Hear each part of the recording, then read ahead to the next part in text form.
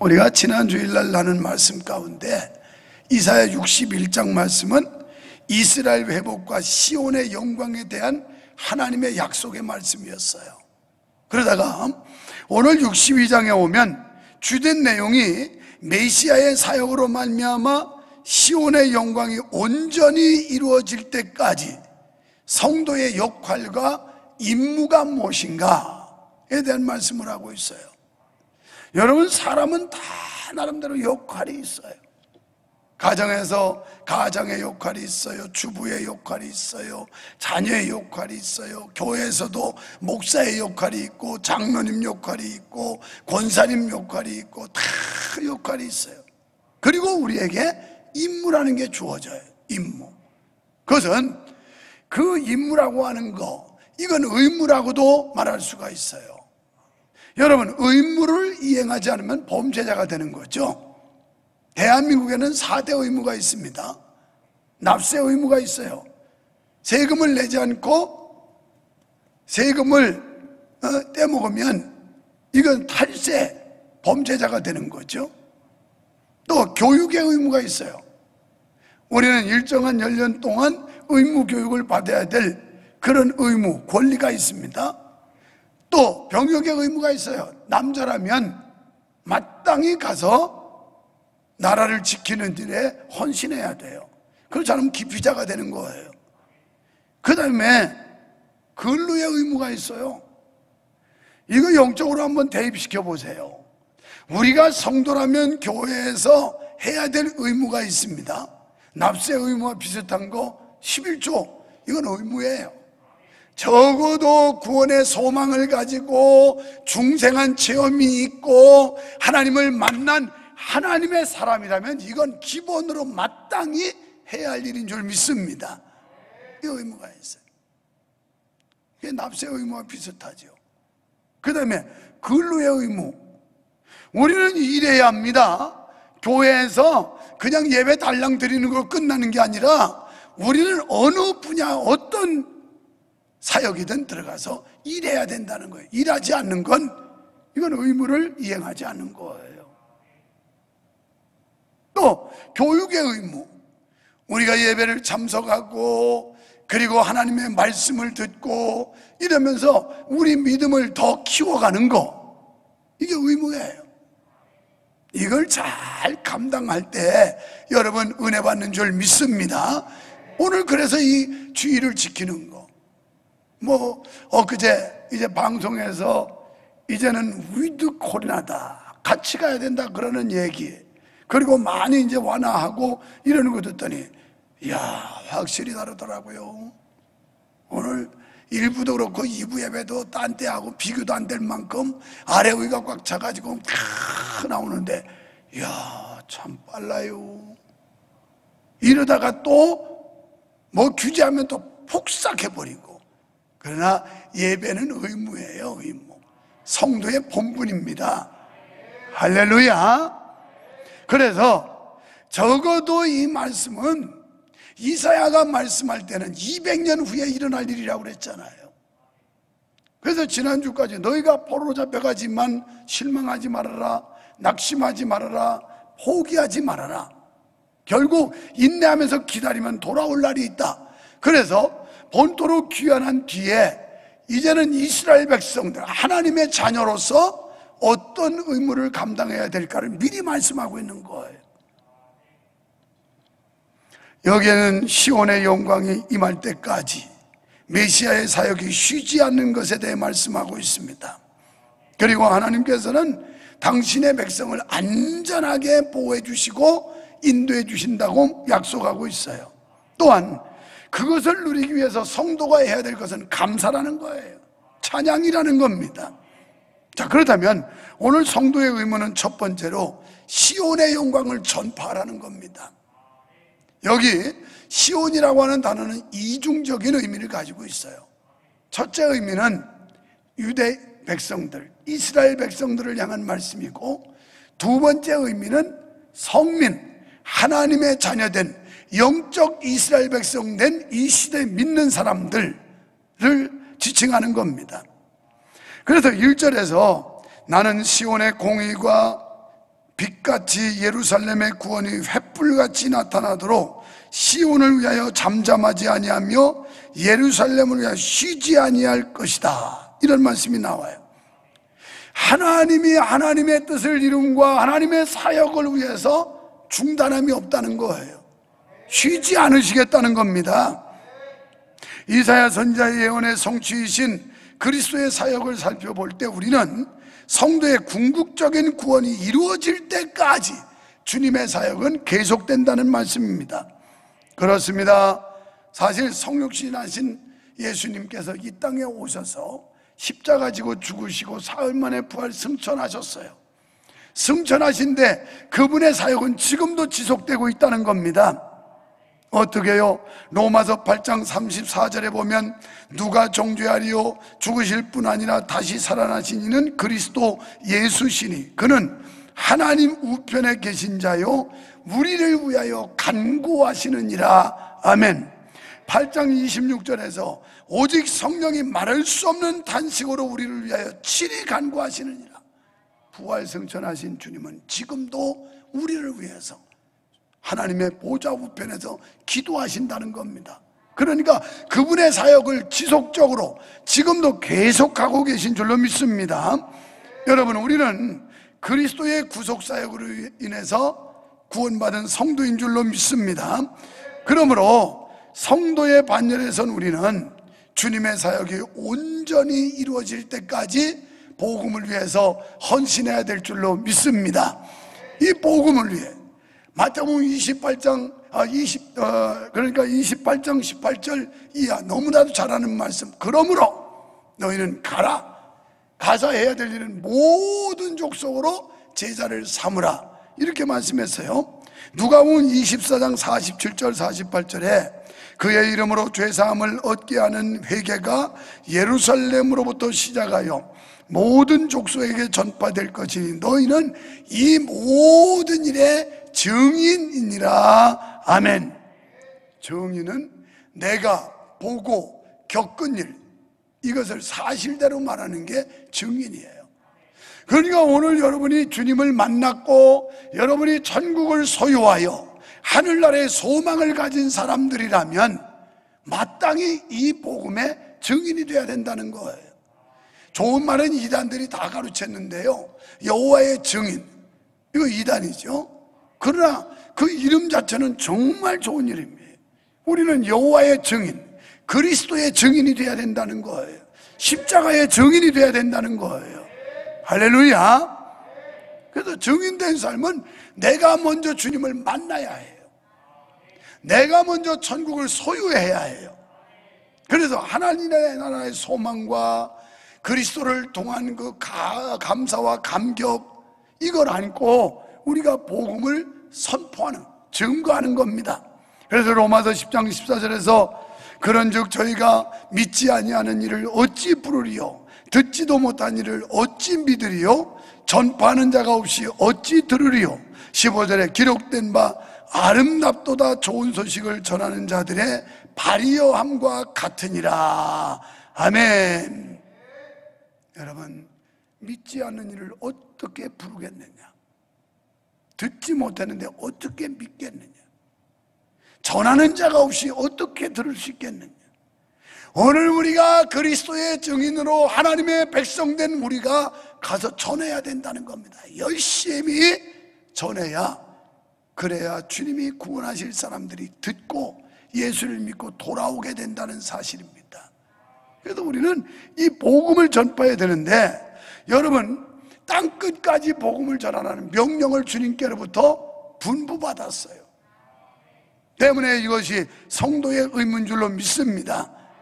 두 번째는 복음을 수호하는 일에 최선을 다해야 됩니다. 우리가 먼저 하나님의 은혜 가운데 하나님의 축복 가운데 복음을 접했습니다. 우리 속에 소유되어 된이 복음 이것을 사수해야 된다는 걸 수호해야 돼 지켜야 된다는 겁니다. 그래서 6절 말씀에서 이렇게 말씀해요.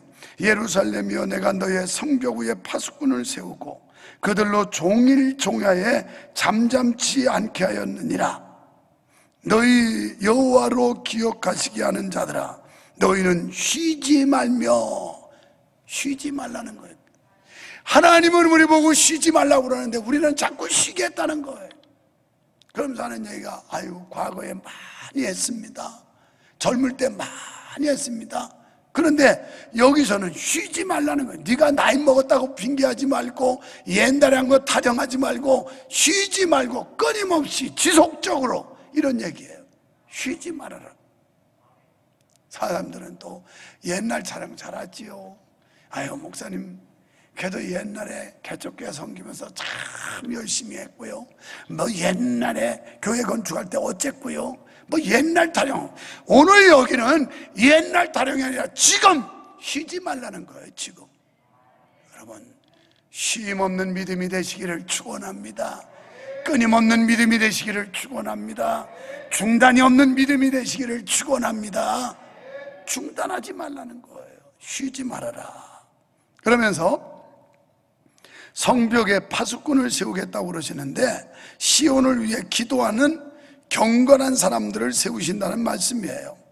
파수꾼은 1차적으로 예루살렘 재건을 위해 기도하는 경건한 신앙의 사람들을 가리킵니다. 그리고 궁극적으로는 새 예루살렘이 완성되기까지 복음을 수호하는 경건한 사역자들을 가리켜요. 그러니까 여기서는 어떤 파수꾼이라고 하면 좋은 소식을 가져오는 사자들을 기다리는 자들, 그러니까 선지자를 기다리는 자들, 이런 사람은 오늘 예수 그리스도는 다시 재림하신다고 그랬는데 그날을 기다리면서 예수 재림을 기대하면서 오늘 그 소식을 기대하면서 열심히 쉬지 않고 일하는 자들 이런 뜻이에요. 이는 복음을 수호하는 일에 쉬지 말고 봉사라는 의미입니다. 그렇다면 어떻게 복음에 헌신할 수 있을까요? 본문은 기도함으로 복음에 헌신할 수 있다 이렇게 말씀해요. 여러분 기도는 우리에게 주신 특권입니다. 언제나 사용할 수 있는 무기예요. 우리가 어떤 형편에 어떤 상황에서든지 이것을 쓸 수 있는 특권이 있는데 기도를 통해서 하나님과 소통할 수가 있어요. 유일하게 하나님과 대화할 수 있는 비결, 비법은 기도예요. 기도를 통해서 우리의 믿음이 견고해지고 우리의 심령이 더 은혜로워지고 그리고 우리가 복음을 전파하는 일과 자기는 지키는 일에 헌신하게 될 줄로 믿습니다. 그래서 선지자는 복음을 지키는 한 방편으로 기도하는 일을 쉬지 말아라 이렇게 말씀하고 있어요. 오늘 7절 말씀에서 이렇게 말씀해요. 또 여호와께서 예루살렘을 세워 세상에서 찬송을 받게 하시기까지 그로 쉬지 못하시게 하라. 대사로니가전서 5장 17절에 쉬지 말라고 기도하라 이랬는데 지금 이 말씀의 뜻이 뭘까요? 하나님이 쉬지 못하시도록 계속 괴롭히라는 거예요. 계속. 우리가 그런다고 하나님이 괴롭힘 당하시겠어요? 그 말이 아니에요. 하나님의 역사가 중단되지 않도록 너희는 기도를 쉬지 말아라. 계속. 루소라는 철학자는 뭐라고 그랬냐면 우리가 이 땅에서 기도하면 천국에서는 비상벨이 막 울린다는 거예요. 우리가 합심해서 기도할 때 하나님의 보좌에서 천당에서는 비상벨이 울려서 그래서 하나님께서 천사들을 명해서 이게 무슨 소리냐? 이거 왜 이렇게 비상벨이 울리냐? 여러분, 우리 교회도 갑자기 소방에 문제가 있을 때 막 따르릉 따르릉 지금 화재가 일어났습니다. 빨리 대피하세요. 빨리 대피. 요란합니다. 이 건물 구석구석에 뭐 난리. 불이 번쩍번쩍 번쩍번쩍 하면서 난리예요. 오작동 할 때도 그래요. 그럼 긴장하게 되죠. 오늘 우리가 함께 기도할 때 하늘나라에 비상벨이 막 울린다는 거예요. 그래서 하나님께서 천사를 명해서 이게 어디서 나는 소리냐? 예, 저 수원시 권선동의 명성교에서 나는 소리입니다. 이유가 뭐냐? 그들이 모여서 지금 하나님의 역사가 있기를 기도하고 있습니다. 그러냐? 오케이! 사인하자. 하나님의 역사, 하나님의 기적, 하나님의 응답이 오는 줄 믿습니다. 그래서 기도하라고 거예요. 기도해서 하나님이 쉬지 못하시도록 해라. 이렇게 말씀하는 거예요. 이 말은 우리의 기도가 끊어지지 않게 하고 기도가 멈추지 않게 하고 기도가 지속적으로 계속 이루어져야 된다는 것을 말씀하고 있는 줄 믿습니다. 그래서 누가 보면 11장 5절로 8절에 보면 예수님께서 비유로 말씀하신 게 나와요. 그래서 어떤 집에 갑작스럽게 저녁 시간에 손님이 찾아왔다는 거예요. 그런데 대접할 음식이 없어요. 그래서 이웃집에 사는 친구 집에 가서 대문을 막 흔들면서 불러요. 여보게 친구, 여보게 친구. 그러니까 친구가 잠자리에 들다가 파자마 바람으로 나왔어요. 그건 누구냐고. 아, 날새 이웃에 있는 만석일세. 어, 그런데 웬일이야, 이 밤에? 아, 우리 집에 갑자기 지금 손님이 찾아왔는데 떡 좀 빌리러 왔네. 떡 한 덩이만 주, 주시게. 그랬더니 뭐라 그러냐면 안 되네. 우리는 이미 나와 우리 가족들, 내 자녀들이 잠자리에 들었네. 그럼 못 주겠네. 그렇게 거절당해요. 그러자 이 친구는 포기하지 않고 막 대문을 흔들면 여보게 이 사람아 친구 내 부탁 좀 들어줘 들어줘 그랬더니만 뭐라고 그래요? 내가 자네와 나 관계가 친구가 돼서는 내가 안 주겠네 그런데 자네 그 강청함 때문에 내가 어쩔 수 없이 떡을 빌려주겠네 이게 예수님이 하신 말씀이에요 오늘 우리가 기도하면서 한두 번 기도하고 안 됐다고 끝나는 게 아니고 하나님 앞에 강력하게 호소하고 강청을 하면 이제 문을 열어주지 않던 친구도 문을 열어주고 그의 요청을 들어주는 것처럼 하나님께서 우리 기도에 응답하신다는 거예요. 이게 예수님이 비유로 말씀하신 거예요. 믿으시면 아멘 합시다. 우리는 강력한 기도, 강청하는 기도를 드려야 돼요. 그래서 하나님의 역사가 쉬지 못하도록 하나님이 우리에 대한 그 관심이 멈추지 않도록 하나님을 쉬지 못하시도록 해라. 이 말씀이에요. 그래서 내 믿음을 지켜야 되고 여러분 가정의 믿음을 지켜야 되고 우리 교회 복음을 사수해야 될 줄로 믿습니다. 그래서 하나님이 여러분 가정과 또 여러분 범사에 개입하셔서 역사하시도록 하나님께 기도하는 여러분 되시기를 바랍니다. 다시 6절에서 여기 보면 예루살렘이여 내가 너의 성벽 위에 파수꾼 세우고 그랬어요. 예루살렘에 파수꾼을 세워 그들로 종일 잠잠치 않게 하겠다. 파수꾼이 파수를 잘하면 성 안에 있는 사람들이 안전하게 보호받을 수 있고 편안을 얻을 수가 있습니다. 하지만 파수꾼의 소리가 들리지 않는 성읍은 평안하다, 안전하다 할 그때에 해산하는 여인의 고통 이름처럼 호련히 멸망이 임하게 된다고 데살로니가 전서 5장 3절에서 말씀하고 있어요. 하나님께서는 본토에 귀환한 유다 백성들이 어떻게 살아야 할지를 가르쳐 주는 거예요. 그러니까 아직 포로 잡혀가기도 전에 너희가 포로에서 귀환에 돌아오면 어떻게 살아야 하는지 여기에 대해서 말씀을 하는 겁니다. 그러니까 우리가 이 죄악의 바발론 같은 데서 하나님의 은혜로 돌아왔을 때 이제 우리가 성도로서 해야 될 마땅한 도리와 책임이 무엇인지 대해서 말씀해 주고 있는 겁니다. 그것은 하나님의 거룩하신 말씀을 통해 교회를 지키고 파수하는 일입니다. 그리고 말씀을 통해 풍요로운 삶을 영위하는 것입니다. 한마디로 말해서 말씀 중심으로 살라는 거예요. 말씀 안에 살라는 거예요. 이런 삶을 통해 성도는 영광에 이르게 될 줄로 믿습니다. 그 다음 세 번째로 백성의 길을 예비하라. 이렇게 말씀을 해요. 10절에 성문으로 나아가라, 나아가라. 백성의 길을 예비하라. 대로를 수축하고 수축하라. 10절 말씀을 가만히 살펴보면 이런 모습을 연상케 합니다. 바사왕 고레스의 칙령을 받지요. 그래서 너희의 본국으로 돌아가라. 자유와 해방을 줍니다. 유다 백성들이 예루살렘 성을 향해 귀향하는 그 준비를 볼 수가 있어요. 그래서 이들이 하는 거 보면 대로를 정비하고 돌들을 치우고 새로운 길을 내는 사람이 있었고 또 깃발을 높이 들고 귀향할 사람들을 모이게 하는 이런 역할도 있습니다. 앞서 우리가 말씀을 살펴본 대로 70년 동안 바벨론이 있다 보니까 어느 정도 적응이 됐어요. 삶의 기반이 거기에 닦여졌어요. 그런데 이걸 놔두고 황폐화된 예루살렘으로 돌아간다는 건 이건 보통 결단이 아니고는 쉽지 않았어요. 그래서 하나님이 이런 약속이 있었고 고레스 어, 왕의 그 칙령이 있음에도 불구하고 무관심 속에 빠져 있는 사람들, 개념이 없는 사람들, 이런 사람들이 많았을 때 그때 깃발을 들고 깃발 아래 모이라.